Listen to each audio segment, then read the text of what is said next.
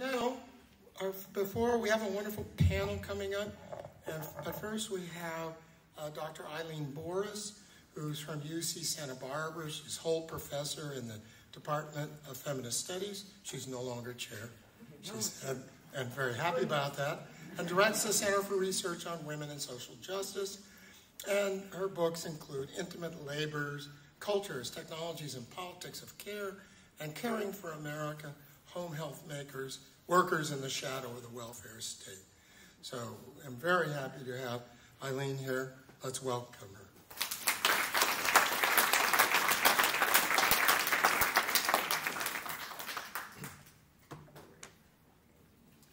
And I'm so happy to be here. It's so wonderful to be among sisters and brothers in a morning like this.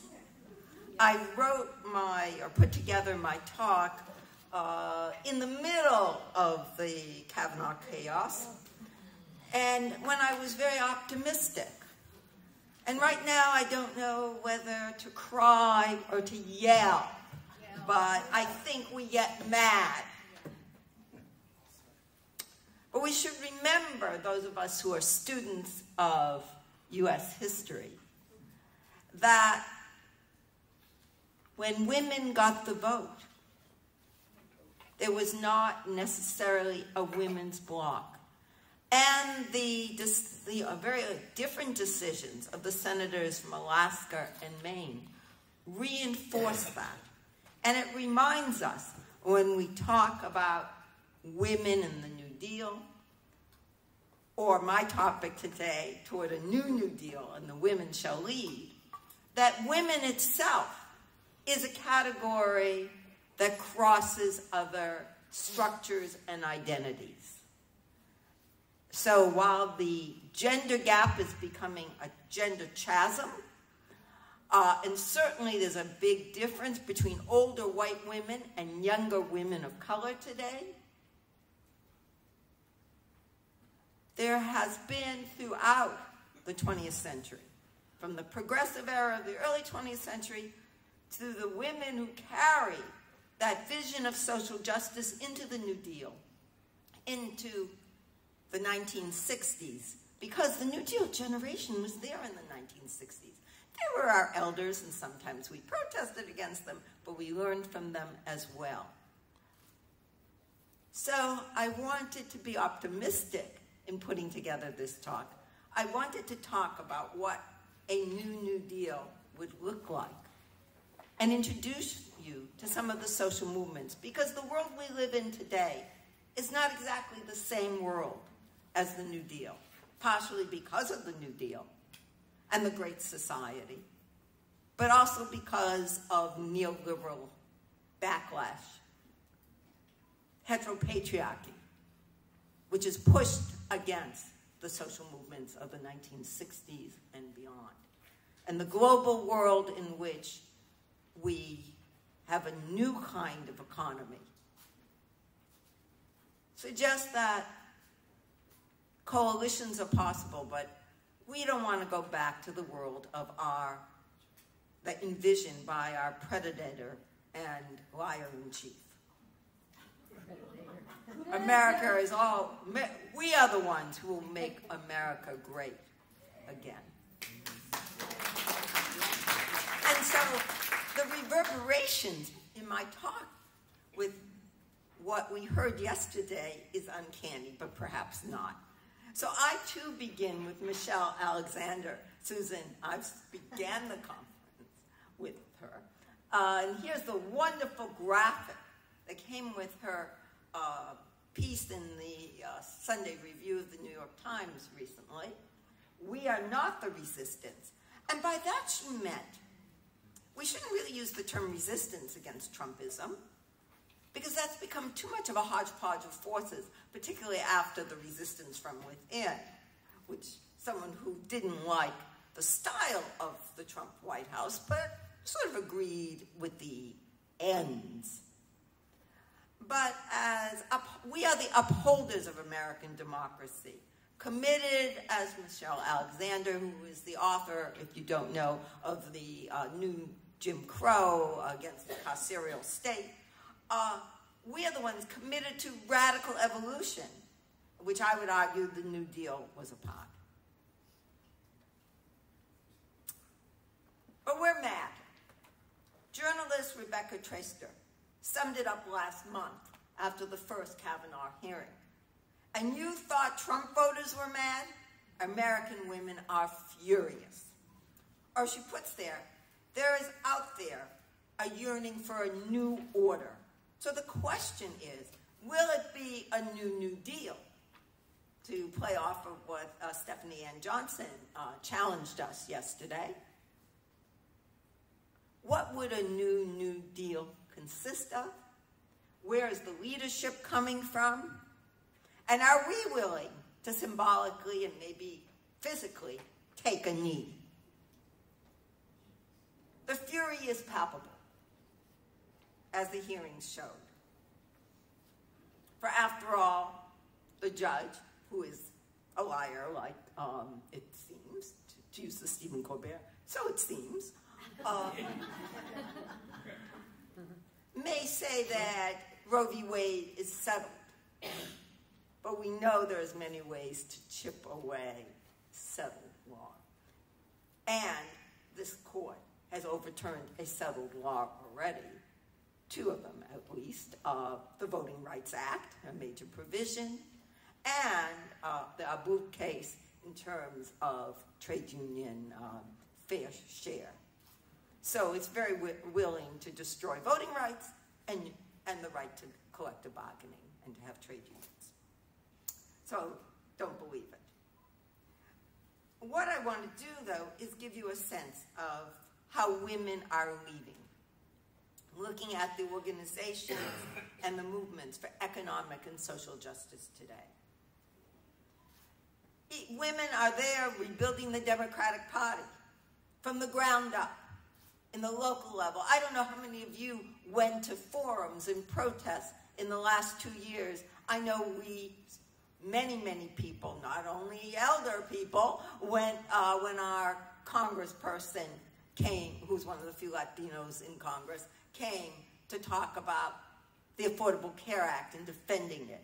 I don't know how many of you marched in the streets, whether in Washington or locally, in the Great Women's March, or how many of you stood on corners to protest family separation? But women are taking the lead around the country. Through vigils, through getting arrested in the Capitol. With the courts being remade by the Federalist Society's long term plot, the state houses have become the front lines of this battle the local experimentation is necessary. And it's in that local level, from the women's clubs, in which so many of the New Deal women came out of, the leaders, and the suffrage movement, we too have our new movements for the vote again, but the vote for everyone. Okay. So, it is women who have a stronger public, who are for a public uh, safety net, higher public investment in education, health care, and support for individuals with disabilities. But I want to take us back to um, the last time we thought there might be a new New Deal in 2008 election. And we weren't the only one. I mean, Time magazine uh, had this famous cover. Uh, and following the election of Barack Obama, we thought a new New Deal might happen. We feminist historians were not the only ones, and certainly Obama, compared to some of his predecessors, uh, supported women's health, supported uh, women's opportunity, and I think Ms. Uh, optimistically said this is what a feminist looks like. It kind of reminds me when uh, we were being told that Bill Clinton was our first black president. Well, the nation, of course, when Obama was elected, was on the verge of the most intense economic crisis since the 1930s with the failure of the banks and the subprime uh, mortgage crisis, all the foreclosures. And the media was speaking of the man session. And there was a feminist academics, historians, and uh, feminist economists. We got together and we raised an alarm. We said, what about the women? Would the recovery reenact the New Deal past of focusing on heavy infrastructure on jobs associated with men, which we thought was wrong-headed, in our view, not because manufacturing was suffering, but because women were less present in such work, but also because we lived in a very different economy, one dominated by services and finance, white and pink collars rather than blue collars. Well, it turned out that in some ways, Obama came through for more for women than we expected, directly and indirectly. Now, whether he successfully came through for most of us or uh, saved capitalism yet again, some people charge that's what FDR did, uh, is still up for debate. As a historian, we need some distance. Women ended up benefiting because they predominated in many targeted sectors for federal intervention in the economy after the 2008 crash. The Small Business Administration loans went to women three times more than men. The Recovery Education Jobs and Medical Assistant Act saved jobs of teachers, nurses, and other public sector and health employees, three quarters of whom were women. Also, women about half the number of students in community colleges, which also were beneficiaries of training uh, monies. The funding of public assistance and the expansion of the Earned Income Tax Credit reached poor women. And the Affordable Care Act has made a tremendous difference in covering women's health, especially preventive care. Although with the Hobby Lobby decision, you're kind of dependent on your employer whether you can get birth control covered, which of course is part of the problem. And so the first thing that uh, Obama did was sign the Lilly Ledbetter Fair Pay Act. He appointed two women to the Supreme Court, and Sonia Sotomayor was certainly a first. As I mentioned, the Affordable Care Act was quite uh, important in, for women's health, and that's why the attacks on it are not just attacks on public funding, but they're really part of attacks on women. And then something that I think is important. Obama ended the companionship rule, which was a Department of Labor rule, regulation uh, from 1975-76 that when domestic workers got into the Fair Labor Standards Act, one group of domestic workers were taken out, home health care workers. They were redefined as elder companions. Well, if they didn't know then, certainly the healthcare system has changed tremendously.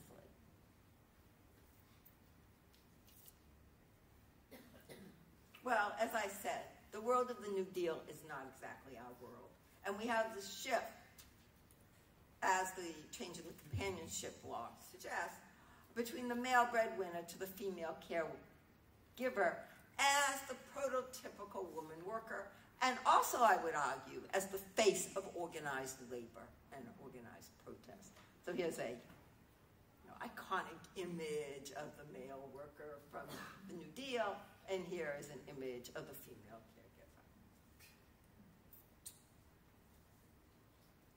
so the worker. These two are, you know, work pays America, and it's the farmer and the laborer from the WPA. And the images that we've been seeing of the woman worker, she's sewing, or she's a house being trained as a housekeeper. These are commodified forms of what academics call reproductive labor, of housework of the unpaid work, but it's the work that's devalued. And so the sexual division of labor was not as challenged, even as, and this is the key, the complexity to the New Deal legacy, even as opportunities for women artists and writers were through the various projects of the WPA and elsewhere. So we have this iconic uh, worker. And there's an academic critique out there uh, that some of you know that uh, the New Deal sustained a racialized, gendered state. That is, that it didn't really challenge the existing order, even though it gave more to black workers uh, if you were an immigrant, if you were a white immigrant, so called a European immigrant, you were assimilatable. If you were a Mexican, may, you probably would not get New Deal resources, but it, it, because of the local implementation of the New Deal order. Okay. Well, in the 1930s, we had uh, the family wage. We believed in the male breadwinner wage. The assumption was that men earned money and women spent. And this division of labor did not dismiss consumer power. So Eleanor Roosevelt talked about that, as we heard in It's Up to the Women, and later in my day. It is the women who will save our country. The NRA, the Blue Eagle, by buying under decent labor standards. But women are seen then as the purchasers of the transformers of the wage into usable goods for the family, while men are saying, why can't you give my dad a job as the breadwinner? Yeah. What does NRA stand for? Oh, okay. A National Recovery Administration, which is one of the alphabet agencies of the New Deal. Yeah. Uh, and that was the symbol of the Blue Eagle, which it was like the consumers and the fair trade and the anti-sweatshop movement of today. If you think about it, it uh, if you abided by labor standards, which were determined by industry committees that had government representatives and uh, business uh, and uh, worker representatives, then you could have the sign in your store window uh, of the, we do our in the Blue Eagle, and then people are supposed to buy from that store or that good. It's like the union label. It was actually an extension of the union label. And we, and given these assumptions of the male breadwinner, security would be for families. More security for the American family. We have this image here. And the idea was it would be the widow of the man the, when the insured worker dies, leaving dependent children and a widow, both mothers and children will receive a monthly uh, benefit. But of course, not all men qualified for Social Security at the beginning. The jobs that African American, Mexican American men were in, like agricultural labor, the jobs that many women were in in the service sector were not initially part of Social Security or the Fair Labor Standards Act. Frances Perkins called herself a half a loaf girl. She was into half a loaf. And once you got the foundation, then the next 30 years were struggles to increase and continue to the present of inclusion, whether it was in Social Security or in labor standards. But the fact is, that um, men did lose their jobs two or three times the rate of women. In the um, early, uh, and, and, in the Depression, women's wage uh, job loss came later. But by the end of the 1930s, women were about a quarter of the total labor force. And today, women, about 60% of women are in the labor force. Uh, and two thirds of uh, households really depend on women's um, earnings. And so while we had the demand for Social Security with this assumption of the male wage in the 30s, today the security issue is family and medical leave and getting that paid parental leave. And even though there's, you know, it's gender neutral, moms, dads, and kids, it, the benefit has been predominantly for women. And states like California, again, the experiment station in the states, have begun for paid sick days and paid family leave. And the California uh, law, uh, which has just come into effect, California can get up to six weeks with minimum for minimum wage workers at 70% of their income. And for those people whose earnings are up to $108,000, get 60% of their income. This is progressive. This is beginning in the States. And so the notion of security for families now must be not just for the widow, but for the working woman herself. The pregnancy should not be a disability in the workplace. Well, we have a changing face of labor leadership to reflect the shifts in the economy and the centrality of women and men and white women and men and women of color in organized labor. Today, women are 46% of union members and will be the majority by 2025 if we still have a labor movement. The 36% of organized workers are people of color, but of course it varies by industry and union. And it also, of course, many workers are not unionized. The rules of the game have been since the Taft-Hartley Act in, in uh, 1948. So been chipping away at the possibility of trade unionism.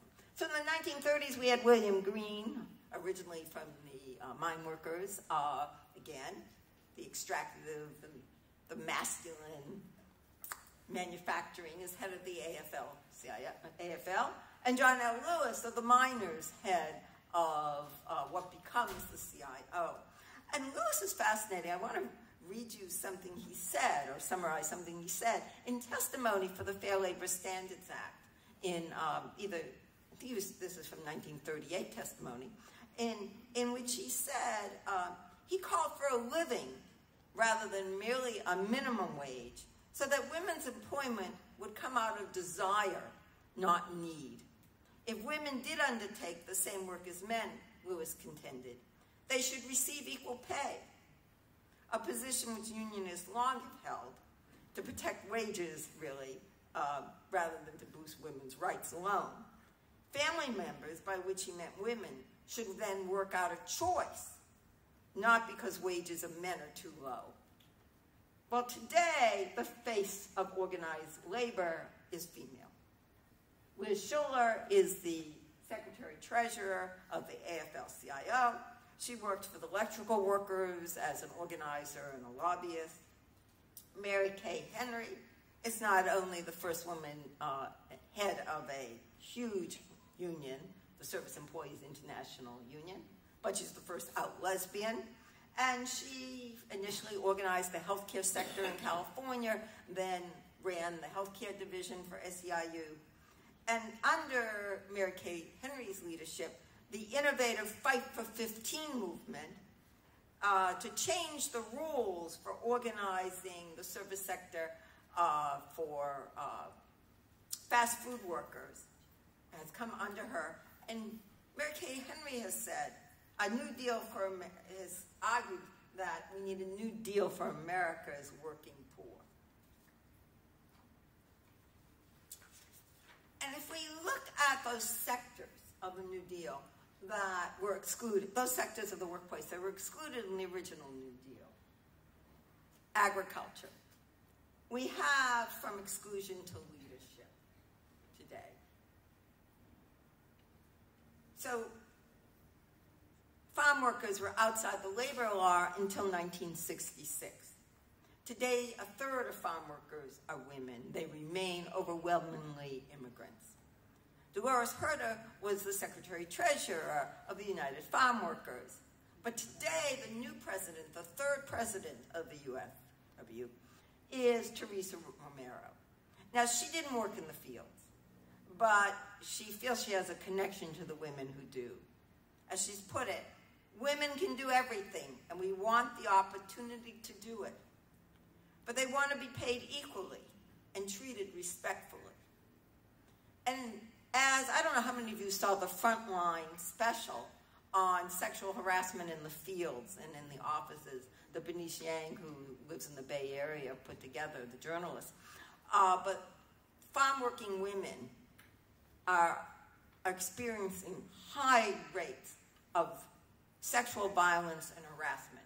And these uh, supervisors and bosses are using the sex card, the violence card, uh, because women, many of them are undocumented.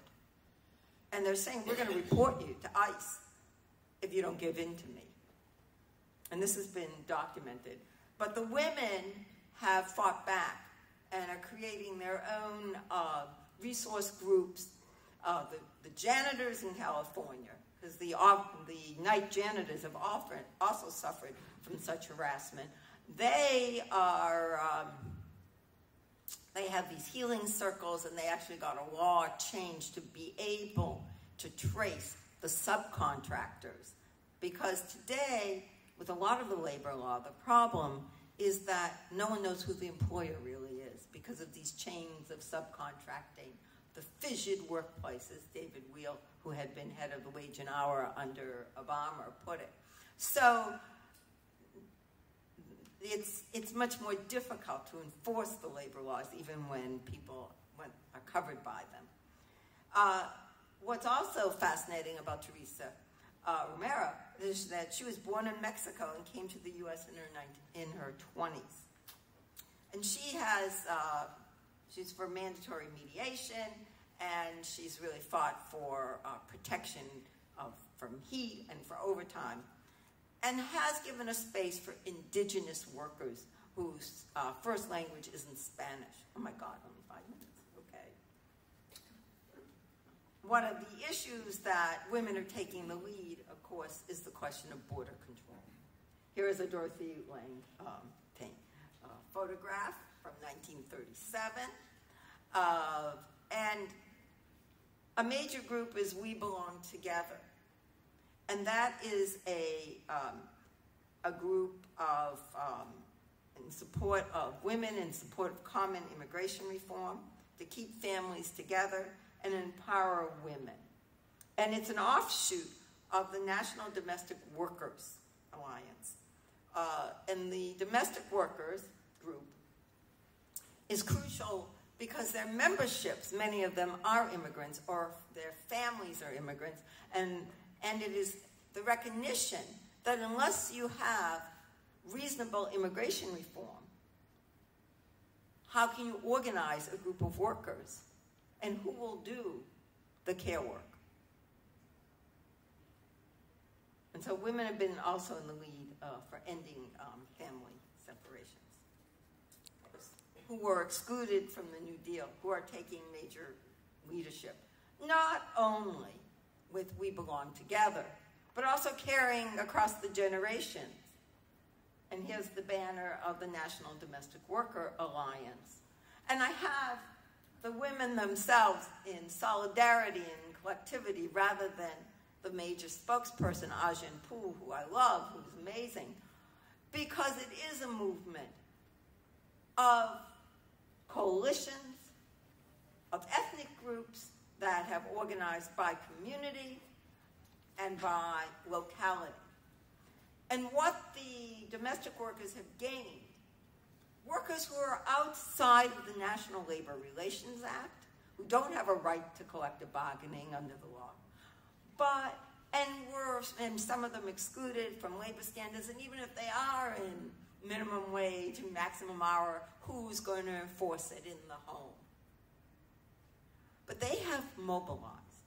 They have educated themselves. They have developed organic leadership, and they have gained in about, I think it's eight or nine states now, domestic workers' Bill of Rights.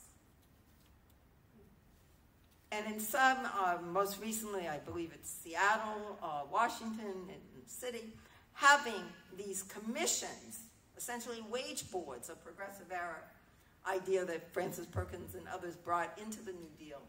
Because the FL, the Fair Labor Standards Act originally had wage boards, connected for low wage, the lowest wage workers, to actually determine fair wages. And the domestic workers asked to be treated like all other workers, but also to recognize that the home as a workplace is a very different workplace. And so, in these Bill of Rights, there's such things as uh, to be paid for wait time, even if it's overnight.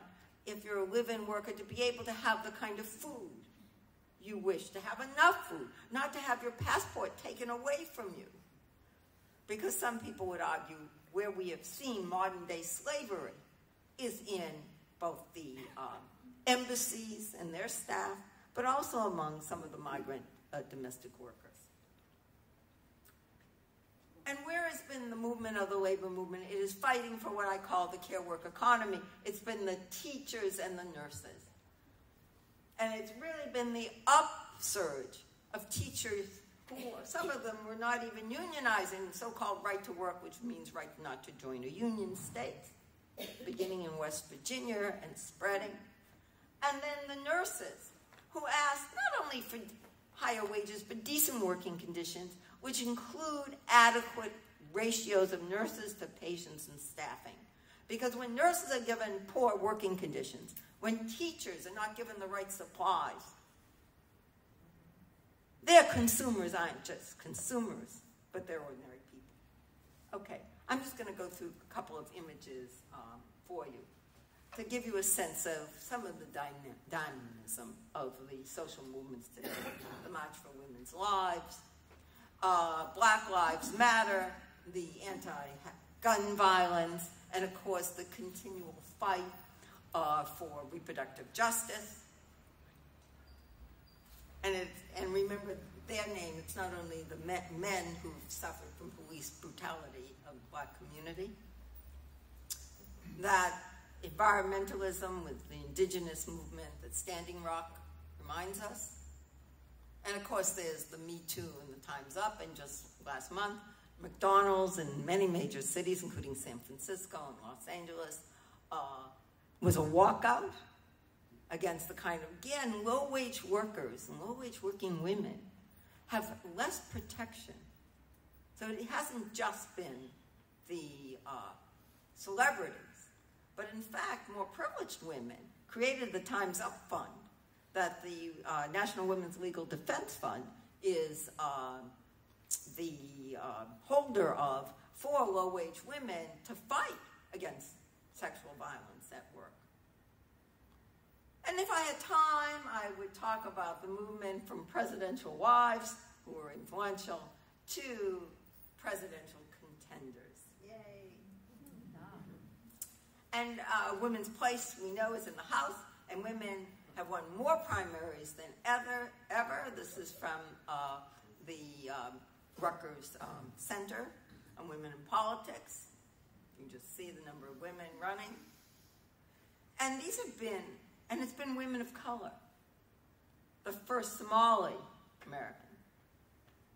And these, some of these women are unionists. So um, uh, Hamar, uh, Janelle, uh, um, Alicia Pressley in Boston, and of course, uh, Ortiz uh, Cortez. And these two women in Boston and in New York actually defeated long-time, somewhat liberal Democratic men, but it was a changing demographics. People are fed up. They don't want just moderation. And of course, women's place is also in the Senate. And Elizabeth Warren has offered new New Deal kinds of proposals to rein in corporate accountability. I mean, rein in corporations for accountability. And, and she was, of course, the founder of the Consumers Protection League uh, Commission, that all of these things that uh, Trump is um, uh, dismantling today. But I want to uh, just give you the names of her bills, which of course have no, her proposals, which today of course have no um, possibility, but uh, she has the Accountable Capitalism Act to, uh, in terms of corporate chartering, which would demand that workers uh, elect shareholders. And she also has the Anti-Corruption and Public Integrity Act. So if we're think, looking for places where a new New Deal can emerge, uh, Warren is one. But what is this vision for a new New Deal? And I'll just make a list of things. And I've taken this for Ilhan Omar, who's running in uh, Minneapolis, who will be elected. And it includes guaranteed access to public education. And let me remind you, the New Deal started student loans. Uh, it would provide health care coverage for all. And though Roosevelt couldn't figure out a way to do health coverage under Social Security, there was many public health clinics. Establish economic justice for working families. We've talked a lot about uh, the labor aspect. Create a just immigration system. Ensure environmental justice and energy independence. That's a new issue. Reimagine our criminal justice system. Achieve homes for all. We've talked a bit about housing in the New Deal. Build a better infrastructure. There's some things that are new, like LGBTQIA rights uh, prevent gun violence. But there's some things that are very New Dealish, like invest in the arts and humanities. So, we are the majority. And the question is will we just be depressed, or will we go out and put our bodies on the line however we can and work for a new New Deal?